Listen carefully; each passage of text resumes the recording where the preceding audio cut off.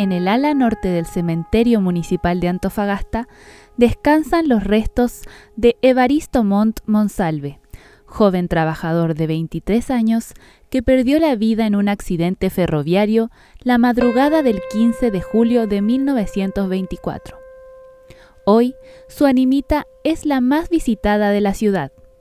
A un siglo de su muerte, Montt, quien también fue voluntario de la Sexta Compañía de Bomberos, es también recordado por sus camaradas.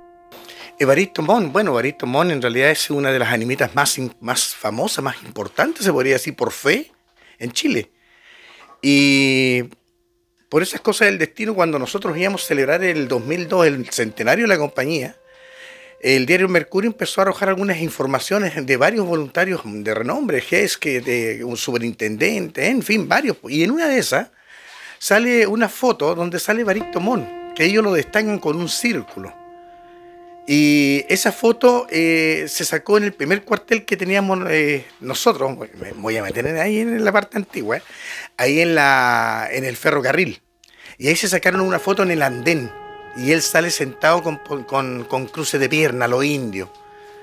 Y dentro de todas las cosas que hemos estado buscando con nuestro curador, que sé yo, que es el señor Alfredo Rosales, que es muy preocupado por la historia de la compañía, no tenemos el registro en un momento determinado de, que haya sido inscrito en la, compañía. A lo mejor tiene que estar por ahí en algo.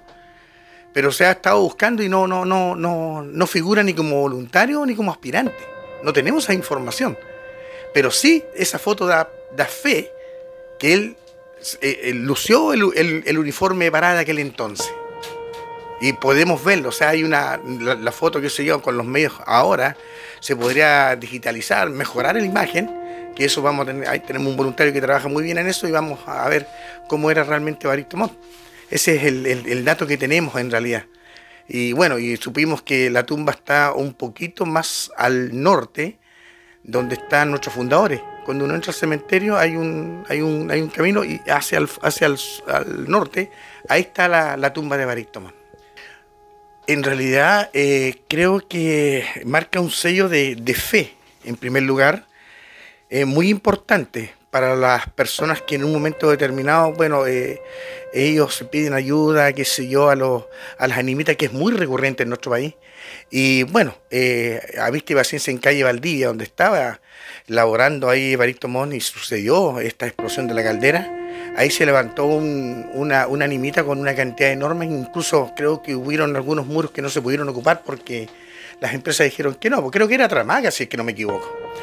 Y la fe eh, es importante en, todo ámbito de personas. Nosotros como somos apolíticos, religiosos, nosotros no podemos cuestionar ese tipo de, fe, sino que sí damos, damos eh, un orgullo de que él fue parte de esta institución de alguna u otra manera. Sí fue parte de nosotros. Y especialmente de la gloriosa, mi compañía, la bomba ferrocarril, porque él era funcionario del ferrocarril.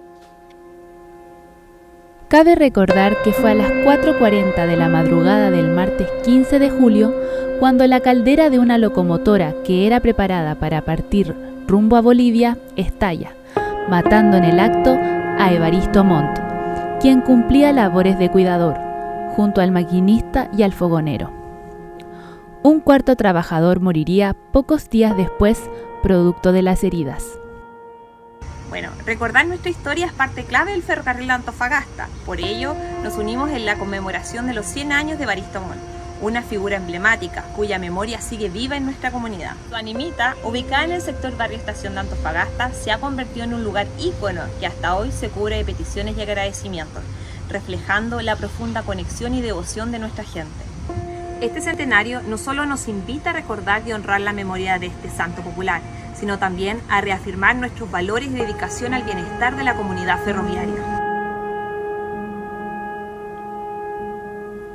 El cuerpo de Montt fue el único que quedó tendido en la vía pública, en calle Valdivia.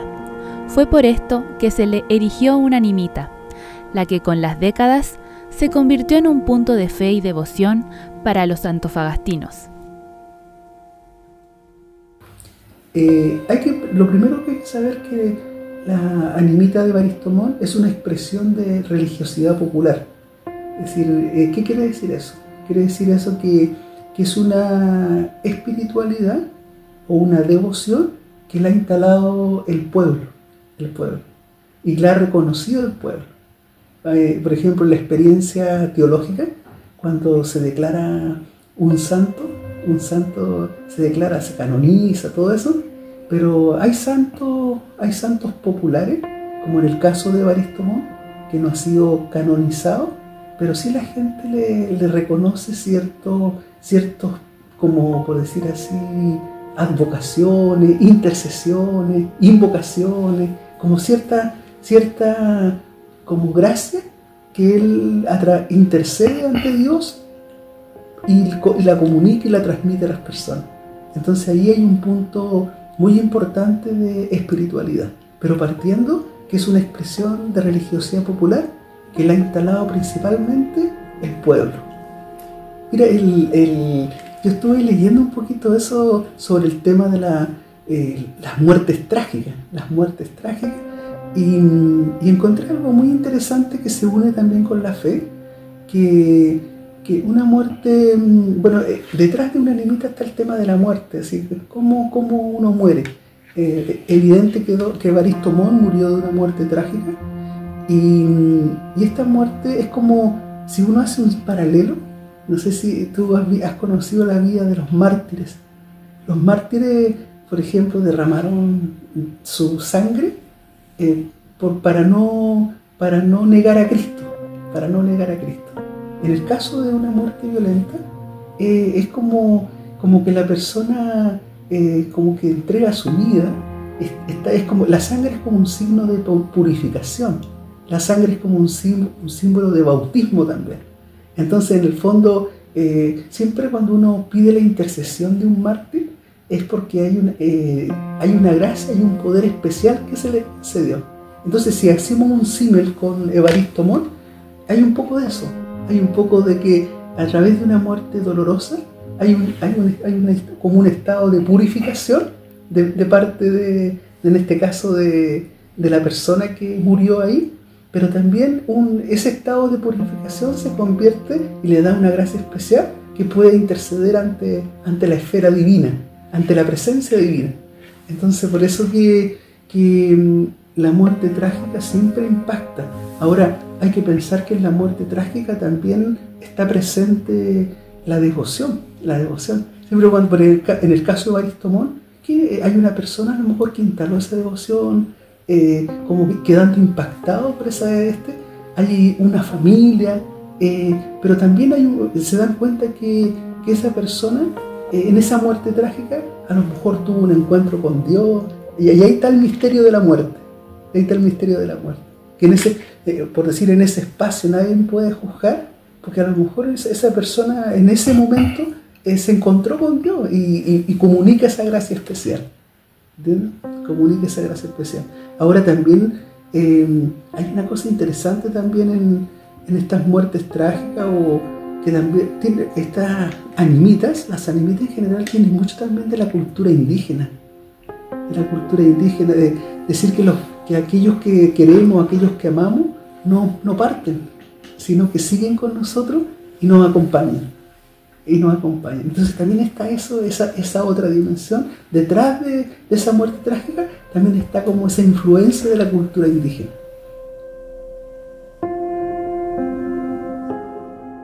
Montt nació en la localidad de Victoria, en la región de Araucanía, en diciembre del año 1900 el joven viajó a Antofagasta para realizar su servicio militar en el Regimiento Esmeralda y posterior a este hecho entró a trabajar como sereno en la empresa del ferrocarril. La animita es un fenómeno social muy interesante que evidentemente también nos cuenta de un proceso de sincretismo que es cuando eh, creencias religiosas y espirituales se van mezclando. Entonces, primero hay que ir al nombre, animita, que quiere decir que hay una ánima, hay algo así como un espíritu, una presencia en algún lugar determinado por motivos que pueden ser muy variables en el tiempo y el espacio, pero la cosa es que a un espacio determinado, a un objeto incluso a veces determinado, o a un símbolo, se le atribuye alguna, alguna característica sobrenatural o espiritual.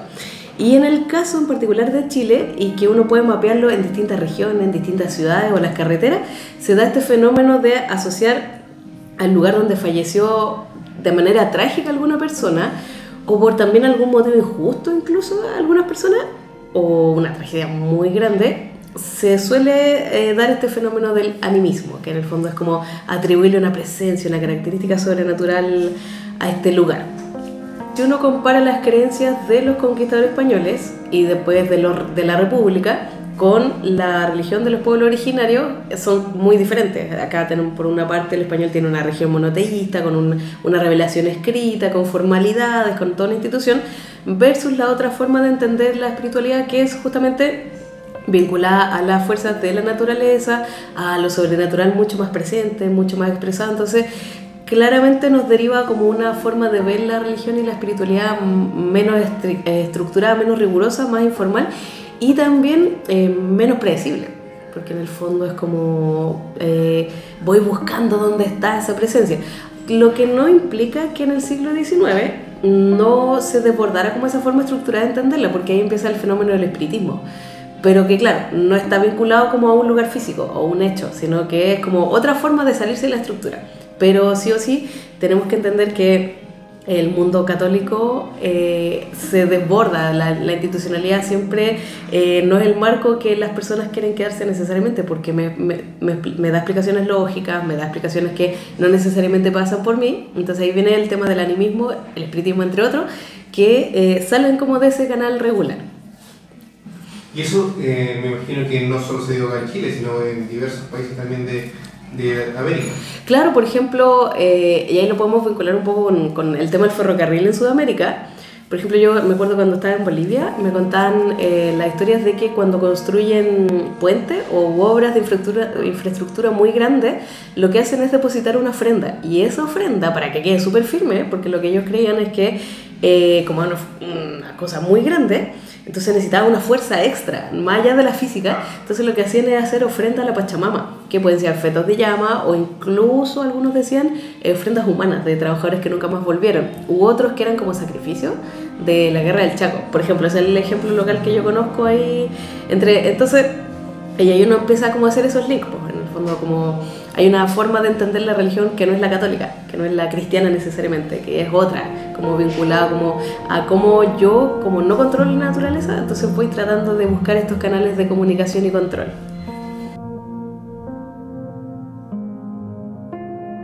A un siglo de la tragedia, integrantes de la sexta compañía a la cual perteneció Montt, más sus devotos y también sus descendientes, participaron en una masiva romería en el sitio de su animita, recordando al santo popular más reconocido del norte.